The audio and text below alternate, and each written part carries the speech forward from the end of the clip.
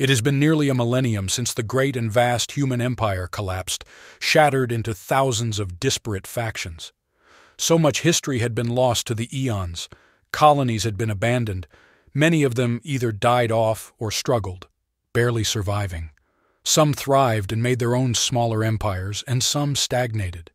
To this day, many bold explorers venture into the unknown only to discover old and abandoned outposts of the former empire, Rarely small, isolated human populations are found, like uncontacted tribes living in their own little bubble.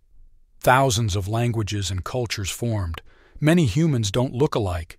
Even though the time span in the evolutionary sense is minuscule, the pressure exerted on humans living in less hospitable environments expedited the evolutionary process. In the wake of this chaos, and as our great past faded from memory and from record, a handful of people made it their life goal to hoard as much information about our history, science, and culture as possible. Such was the goal of the young man we see today.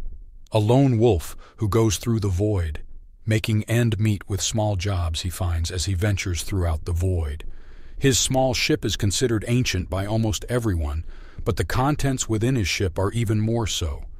Other than digitalized information which is held in the vessel's computers, he has physical copies of books, an object which is considered a relic of an age long past.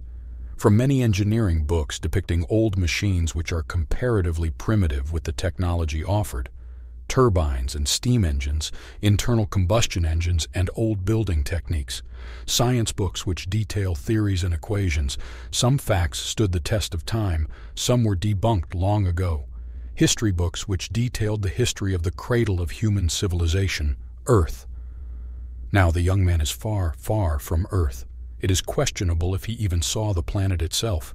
As a vagabond who visited many worlds in spite his young age, few decide to take the pilgrimage to the old world. Some people straight up deny that Earth was our birthplace, thinking that mankind had always been in the stars. The man sits at the helm of the small ship he commandeered for so long, red lights blaring as he panics and tries desperately to fix whatever's going on, glancing here and there to the back where the wealth of knowledge stands. He knows that death is highly probable. He is in an unexplored part of the sector. Even if he emits a distress signal, it is highly unlikely it'll reach anyone in time. He is on his own. In his desperation, he runs a scan of the system he is in. And in a stroke of amazing luck, there is a planet which is hospitable for humans nearby. He sets course for the planet, using the little fuel he has left to at least land somewhere. The vessel creaks as the burning orange color of entry envelops the craft as it enters the blue atmosphere of this alien world. The young man fights with the controls as he tries to steer the vessel to land on solid ground.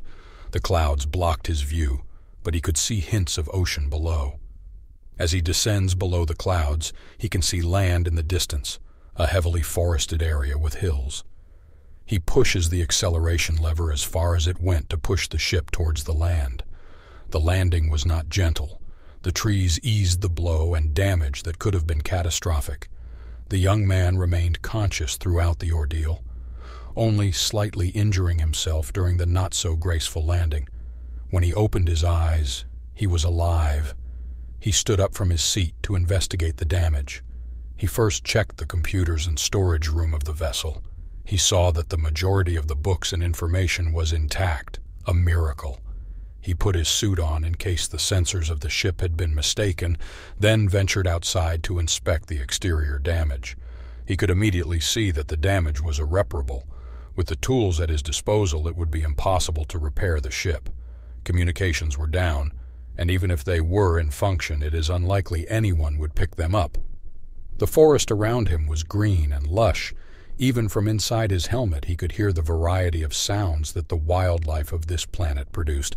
He was cautious, observing his surroundings that no predator has a jump on him. He is on an undocumented planet, after all. He grabbed a testing kit from his ship to confirm if the atmosphere is breathable. Even though there is thick vegetation, it could all be poisonous for all he knew. As he clicked the small button on the device which tested the air around him, he could hear shuffling from beyond the tree line. His gaze quickly came toward the general direction from where the sounds came from. He inspected that area in detail. He couldn't see anything. But as soon as he thought it was just his imagination, the bushes started to move, and from them emerged a large animal. The animal was familiar to the young man. It was a native animal from another faraway planet. It was a horse, and on top of the beast was another being clad in chainmail and an iron helmet. Soon enough the figure was joined by another two beings on horseback. The first being removed its helmet to reveal a face, a human face. Just as the young man wanted to say something, the small device in his hand beeped. Atmospheric scan, complete.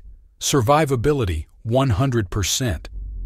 The three men on horseback winced at the device's sound. They spoke an unknown language, but the four quickly came to a mutual understanding.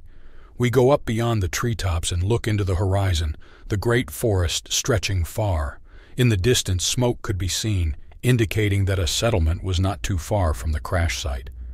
The day turns into night, then into day again, accelerating. The smoke remains stagnant, joined by more lines of smoke every so often.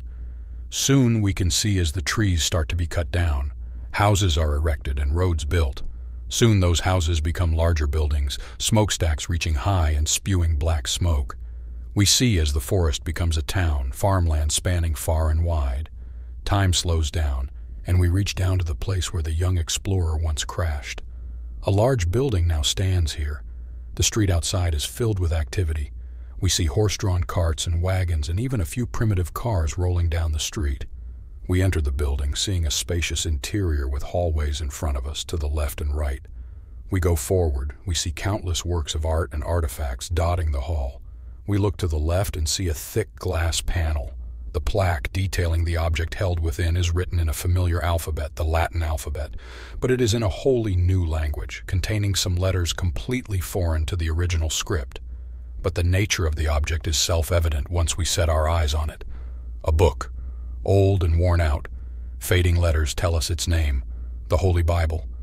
We continue down the hall and see multiple examples of similar glass panels holding ancient artifacts, some of them foreign and some familiar. But the hallway has its end.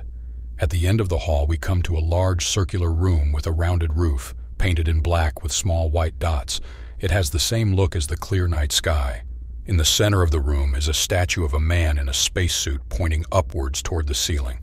In the center of the ceiling is a map of the continents of the mother planet. North and South America, Europe, Africa, Asia, Australia, and Antarctica. There is small plaque that has only one sentence written on it in two languages, one in the old tongue called English and one in the native language of this world. You stand on the shoulders of giants. Do not forget them, children of Terra.